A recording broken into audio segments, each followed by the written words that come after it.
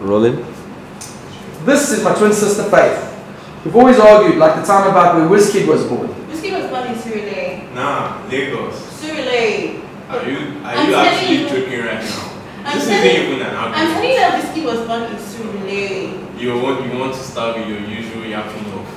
Well, No, go yapping on, is go on, always go on. right. Just just start talking. Whiskey was born in Surrey. I said, are you serious? right?